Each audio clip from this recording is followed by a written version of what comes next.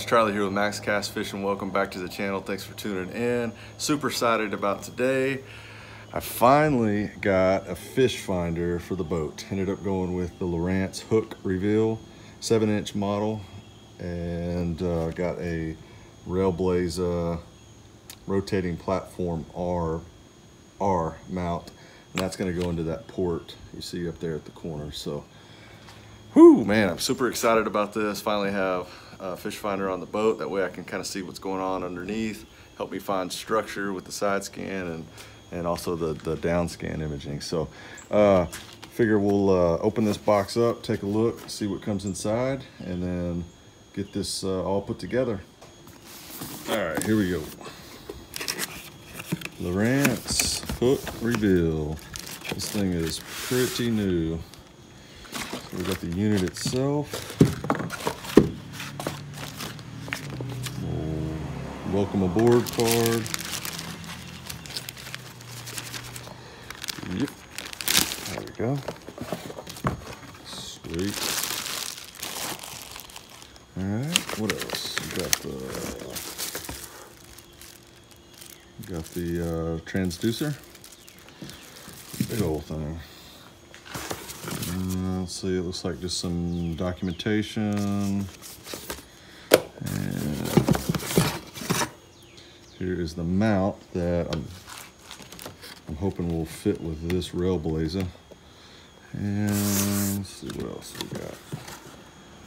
Looks like we got a power cord, transducer bracket, and some other stuff. Oh, look, even included some decals. Oh man, too bad those aren't white. Hey, what do you know? There's one that's white. Sweet. All right, well, good deal. That's kind of what's in the box. Looks like you got your power cord here. Two decals, one white, one black. Um, looks like a fuse and some tightening knobs.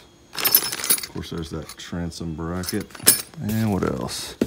Some screws, and I'm not sure what those little plastic pieces are. We'll figure that out. All right, well, let me get this all attached to the boat and I'll get back with y'all after I get it installed.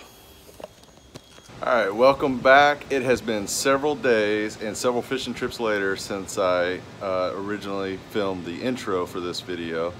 And I have since changed the transom location three times and I finally settled on uh, one particular location. So um, I wanted to wait until I put the rest of this information out so you all know where I actually preferred to have the transom and what worked best for me. But I'll, uh, I'll show y'all know now where I uh, mounted it.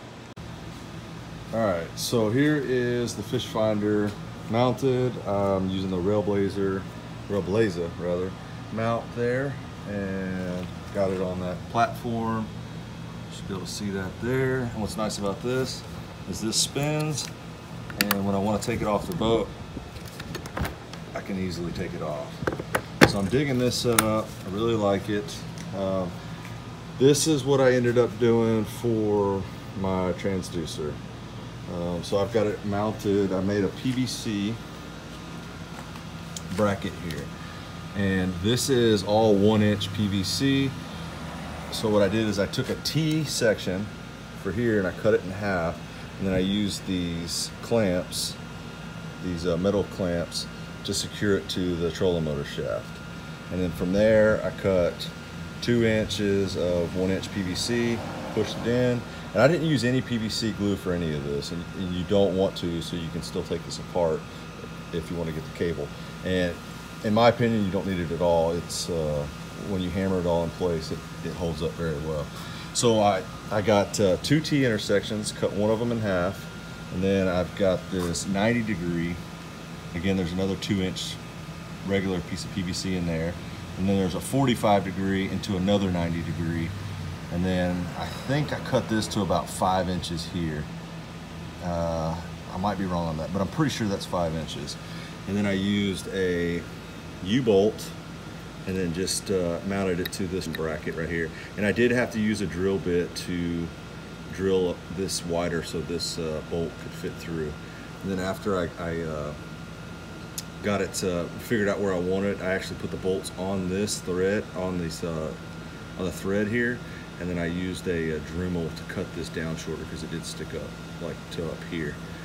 So that's how I got it. Um, and so now that I decided that I wanted it on the trolling motor in an effort to have to not have to put all this on when I went to a pond or a lake, I decided, you know what, I need to just go ahead and mount this to where this stays on the boat at all times, but be able to trailer it at the same time. So I did, this is what I got. Uh, you know, this just mounts the normal way. And I use a little bolt here and I just go through the last uh, slot, selector slot for the trolling motor, and then just hook this to that. And that works. I mean, this, it's really not, this really isn't doing a whole lot. I mean, it's just, it's just an, another attachment point. So I'm comfortable with that. You know, I know this is kind of thin plastic, but I think it's gonna hold up just fine. So I got that, that's how I'm working that up front. And then I made this bracket here so I could, let me loosen this here so I can show y'all. And so basically what this is, it's just, it's pretty sketchy and I need to paint it. Um, it's just some two by fours and I just got it at the right angle. And then I use this aluminum plate right here. And then that just slips into this uh, Troll King bracket right here. And that way it all locks in. And when I tighten it up, it tightens down pretty good. And that's not going anywhere. And I've, uh, you know, I've had this up to 70 miles an hour on the freeway and it's held up good. This piece up here, uh, it's probably not needed, but I went ahead and, and uh, made it just because I had the extra material, extra PVC. It is T uh, cut in half, just like down here. And it's just another T that's open. And I put the wire, the uh, transducer wire that goes back to the unit through that. And that just keeps it off the, the uh, trolling motor shaft while I'm out in the water. I mentioned before, I, uh, I mounted this transducer in three different locations. The first thing that I made, the contraption I made was this. And basically what it is, is just like half inch PVC. And then I took a little piece of wood. This is actually a piece of uh, two by four. And I used one of these Forstner bits. And this is a 7 8 Forstner bit. And basically just drilled a, drilled a hole in a piece of wood. And then I took a piece of Kydex that I had and molded this little bracket right here and then I had this locking or this wing nut rather from something I don't know. I keep everything. So I've just got a bunch of random parts in my garage. And so what basically what this allowed me to do is just move this up and down on this.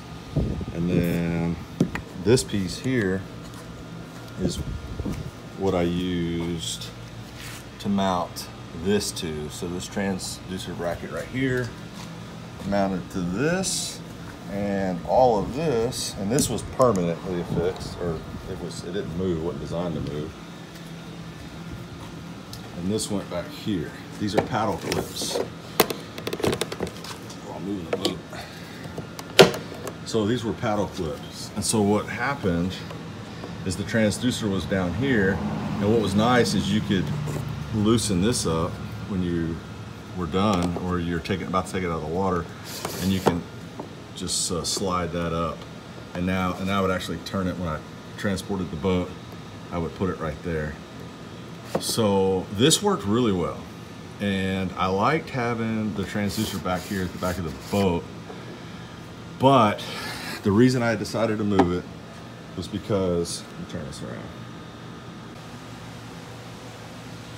So for instance, with the transducer up at the front of the boat and down in the water, like say if I was to go over, like say that uh, that water hose dispenser which fell off the house.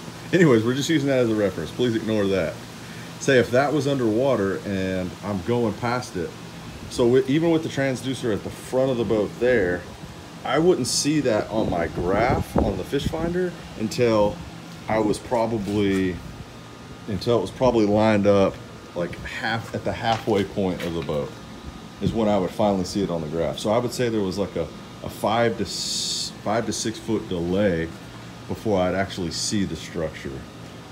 And so for that reason, I mounted it up to the front and I'm happy with that. But of course, you know, I did have to make all this extra, but I'm okay with that because now that's one less thing I have to add or put on or take off when I'm uh, going out fishing. So I'm happy with that. All right, so there you have it. That is the Lowrance Hook Reveal 7. It's a, uh, I mean, it's only been out on the market for a few months now. I love this thing, it's awesome.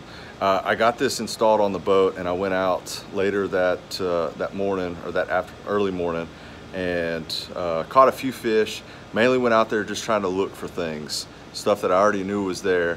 And I was going along a bank and actually saw what looked like a rock pile on the side scan. I uh, got off the trolling motor and this is when the transducer was mounted in the back of the boat, by the way. And saw the rock pile and I was like, man, it looks like there's two fish on there. And I cast it back there, caught one fish, and then cast it back there again and caught a second fish.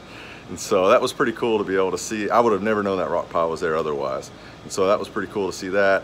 And then later that same night, I went out with my brother to a different spot and we, uh, we got on a uh, pretty big shad spawn and there was bass feeding on, on the, uh, on the, the uh, shad spawn and I ended up hooking into a pretty good fish. So you definitely want to stay tuned to watch that video. So as always, I appreciate the support and y'all tuning in. If y'all would hit the thumbs up button and also subscribe to the channel. Thanks, bye.